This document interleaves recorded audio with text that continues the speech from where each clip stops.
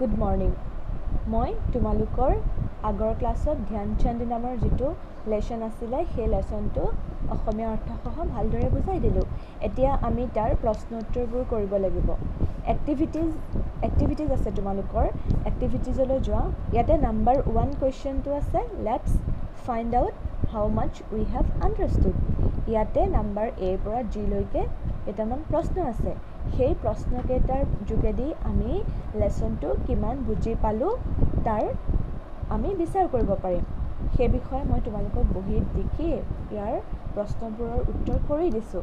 তোমালোকে বুজি ল'বা মানে মই এতিয়া অসমীয়াত কৈ দিম প্ৰশ্নবোৰৰ লগে লগে তোমালোকে বুজি যাবা আৰু নিজৰ বহীত লিখি যাবা। আহাচোন চাওঁ সেইবোৰ। নাম্বাৰ এ কি কৈছে? প্ৰশ্নটো with which other sports persons is Dhyan Chand compared ধ্যানচান্দক আন কোন কাৰ সৈতে কোন দুজন খেলুৱৈৰ সৈতে তুলনা কৰা হয়? ইয়াত দুজন বুলি কৈ দিয়া নাই কিন্তু আমি লেচনটো পঢ়ি গম পাইছোঁ যে দুজন আছিলে। তাৰ উত্তৰটো আমি কি ধৰণে লিখিম?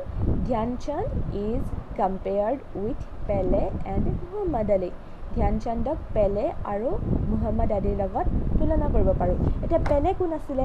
পেলে আছিলে এজন ফুটবলাৰ মানে পেলে ফুটবল খেলিছিলে আৰু মোহাম্মদ আলী আলী আছিলে এজন বক্সাৰ। ঠিক আছে সেইটো নাম্বাৰ এৰ উত্তৰ। নাম্বাৰ বি লৈ আহোঁ।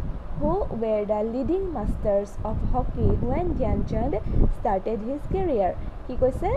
যেতিয়া ধ্যানচান্দে নিজৰ পেচা হিচাপে নিজৰ বৃত্তি হিচাপে হকী খেলক বাছি লৈছিলে তেতিয়া লিডিং মাষ্টাৰ মানে কোনে লিড লৈ আছিলে নেতৃত্ব বহন কৰি আছিলে হকী খেলত? তাৰ উত্তৰটো আমি কি বুলি লিখিম?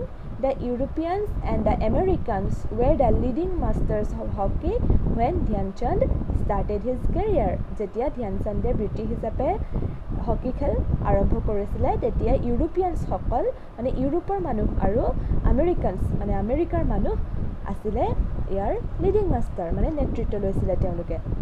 Number C when did the turning point in Dhyan Chand's life come ধ্যানচান্দৰ জীৱনলৈ টাৰ্ণিং পইণ্ট কেতিয়া আহিছিলে মানে নিজৰ যিটো তেওঁ এতিয়া তেওঁ বেলেগ এটা কাম কৰি আছিলে বেলেগ এটা কামৰ পৰা তেওঁ জীৱনটো এটা বেলেগ এটা ৰূপ পাইছিলে সেই ৰূপটো কেতিয়া আহিছিলে সুধিছে তাৰ উত্তৰটো আমি কি বুলি দিম when he join the British Indian army the turning point in Dhyan Chand Dhyan Chand life came মানে ধ্যানচান্দে যেতিয়া ব্ৰিটিছ ইণ্ডিয়ান আৰ্মিত যোগদান কৰিছিলে তেতিয়াই তেওঁৰ জীৱনলৈ এটা পৰিৱৰ্তন আহিছিলে। তাৰপিছতে নাম্বাৰ ডিটো চোৱা। How did Dhyan Singh become Dhyan Chand মানে ধ্যান সিঙৰ পৰা ধ্যানচান্দ তেওঁ কেনেকৈ হ'ল? উত্তৰটো আমি কি বুলি লিখিম? Dhyan Singh practice hockey under the moon for better lightning so' his fellow' players call him Chand and his coach also predicted that he would one day shine like the moon. Likewise, Dhyan, Dhyan Singh became Dhyan Chand. কি বুলি কৈছে আমি কি বুলি লিখিব লাগিব ধ্যান সিঙে মানে কি কৰিছিলে লেচনটো পঢ়োঁতেতো তোমালোকে গম পাইছাই ধ্যান সিঙে যেতিয়া তেওঁৰ ডিউটি শেষ হয় তেওঁতো ইণ্ডিয়ান আৰ্মিত আছিলে তেওঁৰ ডিউটি শেষ হয় তাৰপাছত তেওঁ ডিউটিৰ পিছত ৰাতি খেলে আৰু খেলোঁতে মানে প্ৰেক্টিছ কৰে প্ৰেক্টিছ কৰোঁতে সদায় তেওঁ জোনৰ পোহৰ ওলোৱালৈ ৰৈ আছিলে। সেইকাৰণে তেওঁৰ লগৰ খেলুৱৈসকলে তেওঁক চান্দ বুলি মাতিছিলে আৰু তেওঁৰ যিজন কোচ আছিলে গুৰু আছিলে সেইজনে তেওঁক আশীৰ্বাদ কৰিছিলে বা তেওঁৰ মানে তেওঁ ধাৰণা কৰিছিলে যে তেওঁ এদিন জোনৰ দৰে জিলিকিব। সেইকাৰণে ধ্যান সিঙৰ নামটো ধ্যান চান্দ হ'ল। নেক্সটটো চোৱা where did Dhyan Chand win the title hockey personality of the century hockey personality of the century হকীত মানে ব্যক্তিত্ব ধাৰণ কৰিছিলে। ব্যক্তিত্ব হকীৰ ব্যক্তিত্ব তেওঁ উপাধি পাইছিলে। সেই শতিকাৰ হকীৰ ব্যক্তিত্ব। উপাধি তেওঁ ক'ত লাভ কৰিছিলে?